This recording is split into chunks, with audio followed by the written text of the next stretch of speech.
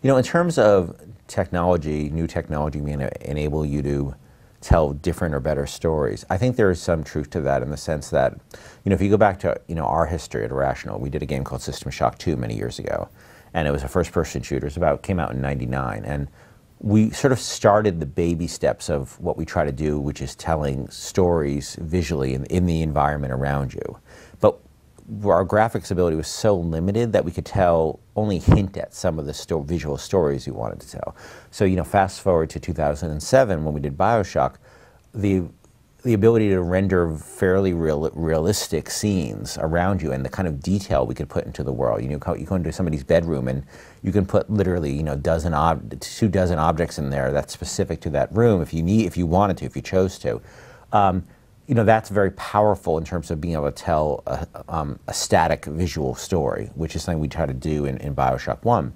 In Infinite, I think we're trying to, you know, retain that storytelling from Bioshock 1 in terms of these static visual scenes you see around you, but also bring characters and AIs into that storytelling as much as we can. You know, the fact that you're a character as Booker, the fact that you're with this character Elizabeth, the fact that you can interact with all these AIs around you, and some, you know, and we in, in Infinite AIs don't all AIs don't necessarily just attack you when they see you. Sometimes they maybe do something else entirely. Sometimes they may be staging an ambush for you. Sometimes they may be completely innocent, and you have to sort of figure out what's going on. But what it allows us to do is you can observe these characters, and, and they're telling you visually, um, you know, in, in, motion, a story around you as well.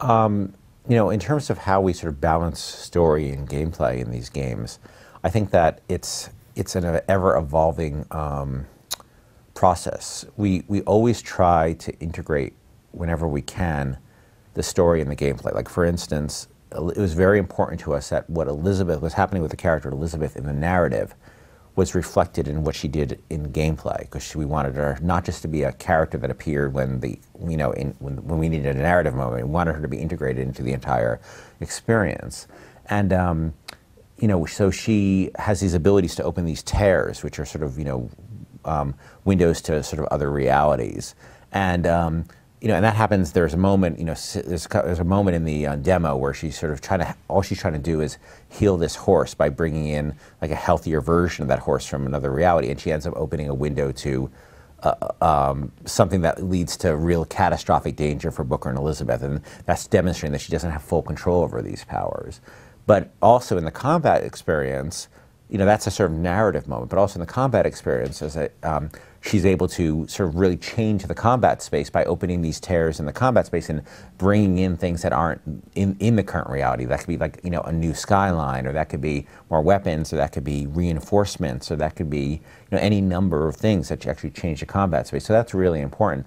You know, sometimes we have an idea and it doesn't entirely fit the vibe and the feel of the game. And generally what we do is we say, is there a way that we could you know, alter this, you know, on a gameplay side, or even sometimes we alter it on the story side to sort of make sure there's unity. Because you know, you're, if you're playing a Bioshock game and all of a sudden you come across like you know a team of NBA basketball players, it's off-putting and strange, and um, you don't, you know, you want to make sure the gamer sort of doesn't get thrown out of the game, you know, mentally thrown out of the experience, because it's a really a fine line you walk with keeping players in the game. And a lot of times there have been things like, well, you know, well, we should put some references to a modern, you know, TV show or something. People will come up with an idea like that, or somebody would suggest that. And uh, it's, it's not, I don't think Bioshock's a game where you want to sort of do that. I think you have to keep it very tight and very integrated into its own world without sort of stepping out to the fourth wall, past the fourth wall. Um, you know, the most important thing about Elizabeth to us in terms of making sure the gamer's experience is protected is you know is um, is that, that Elizabeth feels integrated into, with the player is that she, she's not a character you need to protect.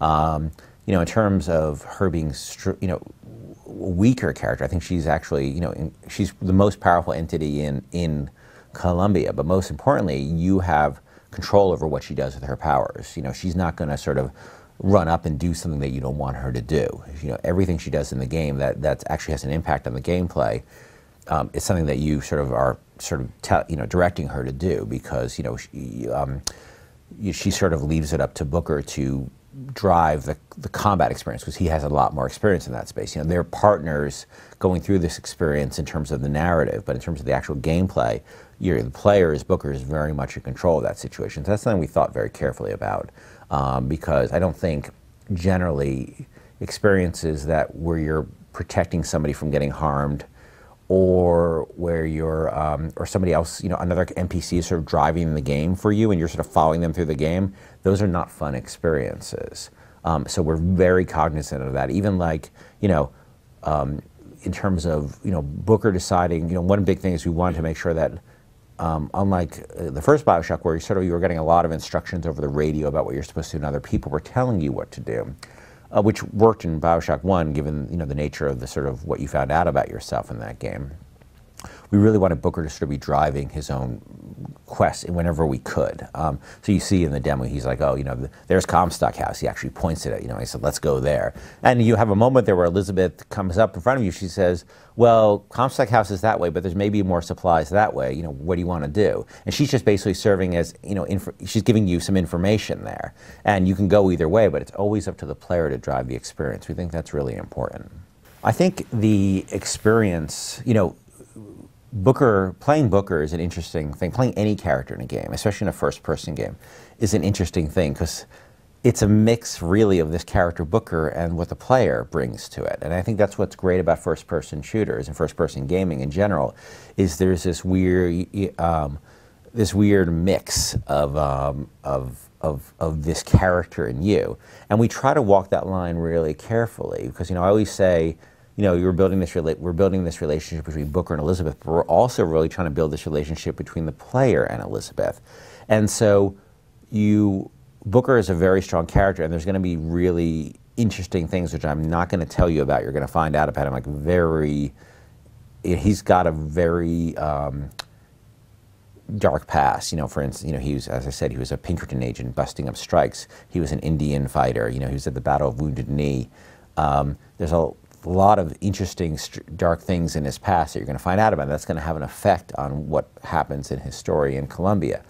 But you also don't want to sort of force too much sort of decision making of Booker on the player. You really want to let pl the player drive that. So, you know, in the experience, you have these two characters, Booker and Elizabeth, but you really you want Booker to be in charge, but on top of that, you really want the player to be in charge of what's going on because I think gamers gamers are in experiences so they can be the guy going through this amazing experience with this woman in this world, right? That's what it's about at the end of the day. It's this sort of fantasy of being another person, going somewhere where you can't go in real life, being with people, these amazing people that, you know, that you don't often come across or ever come across in, in the real world. And I think that's really important, but you also have to remember that it's the player playing that part and mixing that, the player and that character together as one is really important.